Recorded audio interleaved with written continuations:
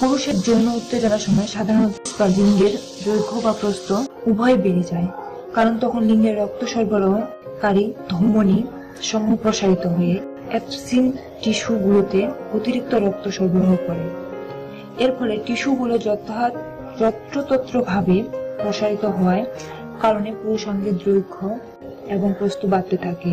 অ্যাবসিন tissue সমূহ প্রসারিত হয়ে লিঙ্গের শিরাগুলোকে চেপে দেয়, যাতে এই টিস্যুগুলো থেকে শিরার মাধ্যমে রক্ত কম পরিমাণে অপসারিত হয়।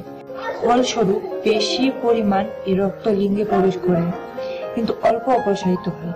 এই প্রক্রিয়াটি ততক্ষণ পর্যন্ত চলতে থাকে, যতক্ষণ না একটি সাম্য অবস্থার সৃষ্টি হয়ে থাকে, যাতে করে উত্তেজিত লিঙ্গের ও প্রস্থ একটি নির্দিষ্ট মান পর্যন্ত বজায় থাকতে পারে। উত্তেজিত অবস্থায় পুরুষের লিঙ্গের দৈর্ঘ্য সচরাচর চার পয়েন্ট সাত থেকে ছয় পয়েন্ট তিন ইঞ্চি। অনেকের মতো গড় দৈর্ঘ্য পাঁচ পয়েন্ট এক থেকে ছয় পয়েন্ট নয় ইঞ্চি হয়ে থাকে। তবে ব্যক্তি বিশেষে এর নির্ভর করে সব লিঙ্গের দৈর্ঘ্যের উপর উত্তেজিত দৈর্ঘ্য কমানো নির্ভর করে না।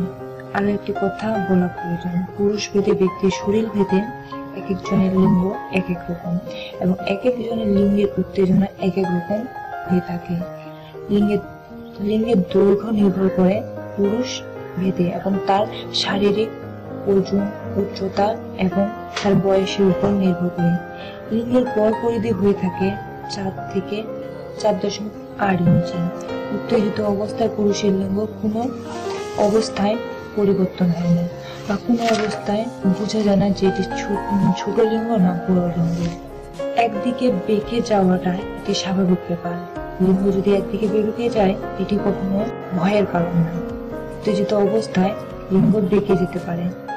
বলে রাখা যাক প্রকৃতিগত ভাবে অধিকাংশ পুরুষের লিঙ্গ গোড়ার দিকে মোটা, গোড়ার দিকের তুলনায় নিচের দিকে চিকন থাকে। এছাড়া দেখা যায় অনেকের ক্ষেত্রে উত্তেজিত অবস্থায় লিঙ্গ উপরের দিকে আর নিচের দিকে কিংবা উভয় সমান্তরাল ইহা একটা স্বাভাবিক ব্যাপার। ইহাতে আপনারা ভয় পাবেন না। কখনো আপনি মন খারাপ করে থাকবেন না যে আপনার লিঙ্গটি এরকম কেন হচ্ছে। আপনি লক্ষ্য করুন, আপনার লিঙ্গটি ঠিক আছে কিনা। আপনি নিজেই বুঝতে পারবেন। আমি উপরে যে কথাগুলো বললাম, তার সাথে মানিয়ে নিন।